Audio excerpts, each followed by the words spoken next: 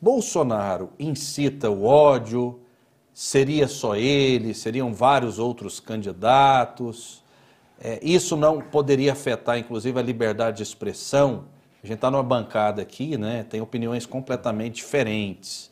É, não é mimimi demais, professor Tiago? Qual a sua opinião sobre isso? Ah, que bom, você pediu, perguntou para mim agora primeiro. Primeiro. primeiro. né? Isso é bom. Mas você primeiro, sabe que a vantagem pedir desculpa para o Glauco, que eu gosto muito do Glauco já, pouco tempo que a gente se conhece, mas eu acho ele um cara legal, e que eu quero trazer ele para o meu lado aqui, ele oh. vê que o Bolsonaro é, o, é, é, a parte ruim do negócio. Nós dois somos bons, estamos juntos na, aqui na caminhada de crescimento da nação. Né? Temos pontos diferentes. Deixar, vou tentar deixar ele falar da próxima vez. É mal de professor, a gente aprende isso para controlar a sala de aula e acaba interferindo na fala. Então, desculpa, Glauco, pelas interferências na sua fala anterior. Olha, é, já vi até em outros programas seu aqui, Rafael, não é. Depende, né? O que é fake news, o que é. Tem o gabinete do ódio, de fato, aqueles filhos dele, o, o general Heleno, o próprio vice-presidente, que é uma pessoa equilibrada, saiu né, da cola do Bolsonaro. Eu penso que ele já deveria ter assumido a presidência há uns dois anos atrás, na época da pandemia, que de repente teria vacinado a população mais rápido, diminuído o número de mortes. Então eu acho que tem alguns ataques que fogem à regra. Por exemplo, essa questão de chamar uma reunião com os embaixadores. De fato, ele fez algo, uma, uma, um debate que era político interno, que eu, foi a primeira vez que eu concordei com o Temer. Né, deixo registrado de novo. O Temer mandou bem na entrevista ao vivo que ele deu para a CNN. Ele podia continuar, não seria mimimi, esses debates internamente políticos, falando da urna. O Lula já falou da urna eletrônica em outro momento. Todos vão falar do sistema eleitoral brasileiro, das TVs, das TVs principalmente particulares que influenciam. É esse debate que nós estamos tendo aqui, é, artistas que influenciam, enfim dos riscos que a democracia corre, que é comum desde a Grécia Antiga. Né? Porque a Grécia, a democracia começou, tinha escravo e mulher não votava. Então a democracia sempre vai ter problema, ela sempre precisa ser aprimorada. Eu acredito que o Glauco concorda comigo com isso. Né? Então eu acho que em alguns momentos ele peca, ele, não só ele. também acho que o Ciro, também acho que o Lula, em alguns momentos, ia elevar o tom em alguns pontos. Mas internamente é normal, acho que é comum, igual o Lula falou, vamos, mandar, vamos dar uma banana pro Bolsonaro, o Bolsonaro ir lá e devolver, vamos dar uma banana pro Lula. Não é Nutella, é, né? é massa, é bom. Eu gostava, quem assistiu o debate de 89, Exato. né? O Caiado contra o Brizola, foi bonito demais, eu assisto direto aquele, o Brizola e o Caiado debatendo, é bonito o DR, filhotinho da ditadura e o, e o e o Caiado ser comunista, e aquele debate foi bonito, e depois os dois ficaram tranquilos, né? Então é bom isso. Quem foge dos debates, inclusive, é o Bolsonaro. Agora, levar isso para patamar internacional, que é ruim. Aí eu penso que o STF está mais preocupado é com isso. É colocar em dúvida o sistema eleitoral brasileiro internacionalmente. Ok? Agora eu vou ficar caladinho e esperar o Glauco falar. Perfeitamente. Pois não, Glauco. É, Fala lá, Glauco. Professor, é, a minha admiração pela sua pessoa, sem nada é, contra a sua pessoa, nós estamos aqui tendo um debate de ideias, é, não tem óbvio algum.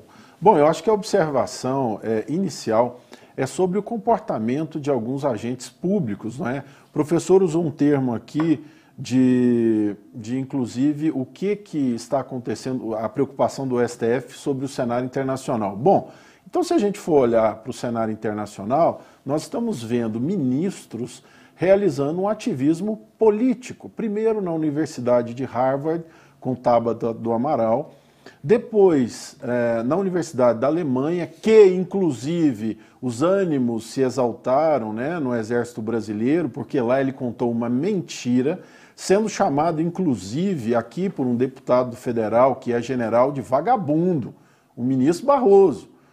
E aí um outro general, Paulo César, que, é, que deu uma declaração dizendo que, inclusive, cabe processo no Tribunal Superior Militar. Então, depois desse movimento, nós tivemos um outro movimento de Barroso, agora dentro de uma universidade em Londres, em Oxford, onde ele foi chamado de mentiroso. Então, nós precisamos de entender que os agentes públicos brasileiros alguns estão exorbitando de suas funções.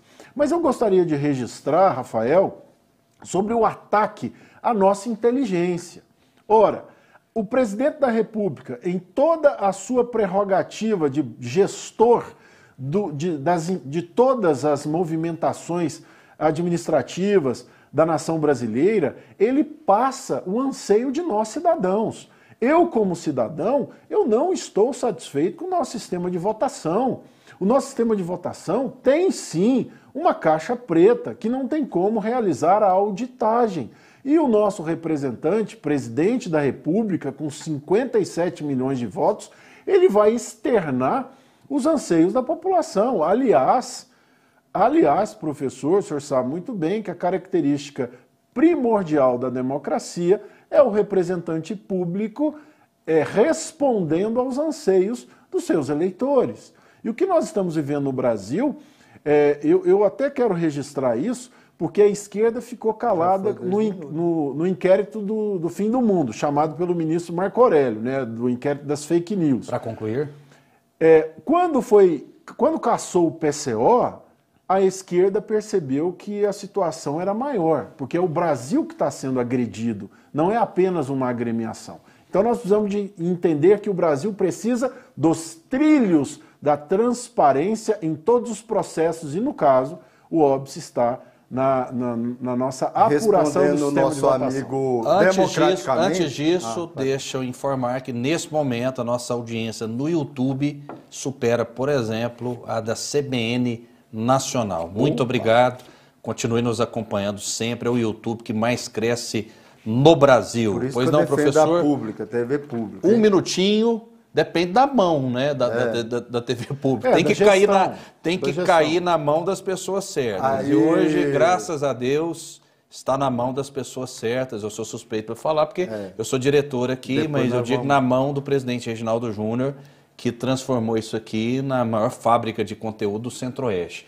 Eram 45 né? minutos, viu, professor Tiago? Hoje uhum. são 14 horas diárias de programação ou seja, Excelente. uma das maiores e mais amplas de, é, programações do Brasil. Só posso Thiago, agradecer o espaço para o professor da rede básica, igual eu, estar aqui, né? Primeira Para a gente é uma honra, viu, professor?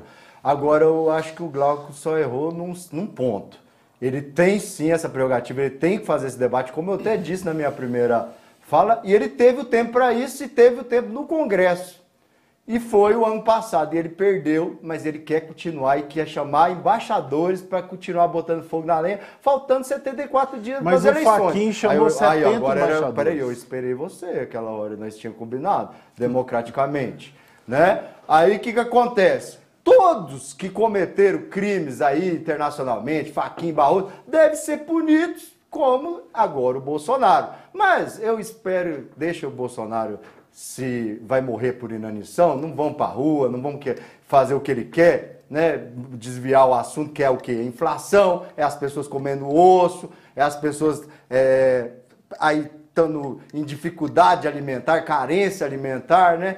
Ele não conseguiu, ele não teve competência para superar essa crise, ele deixou muita gente morrer porque ele negou a vacina. Né? Então vamos deixar, Mentira, vamos ver, professor. vamos lá, vamos deixar ele perder nas urnas. E aí as declarações, Rafael, respondendo a sua pergunta especificamente, elas são comuns no âmbito nacional. Se você for atacar um ao outro, fazer crítica, ó, ele roubou, participou do mensalão, ele é da milícia, eu acho que é comum. Tem que ter o debate, como estão fazendo eu e o Glauco aqui. Nós estamos debatendo, depois nós dois vamos sair aqui, vamos continuar uma pessoa, às vezes, respeitar pegando na mão um do outro. O que o Bolsonaro não fez, por exemplo, com o Caiado, quando ele veio aqui e não quis cumprimentar o governador do estado de Goiás. Que eu sou adversário político, mas nunca faria isso com o governador de estado nenhum se eu fosse presidente. Eu pegaria na mão de todos. Okay. Isso é discurso de ódio. Isso é falar para os goianos: odeio o seu governador.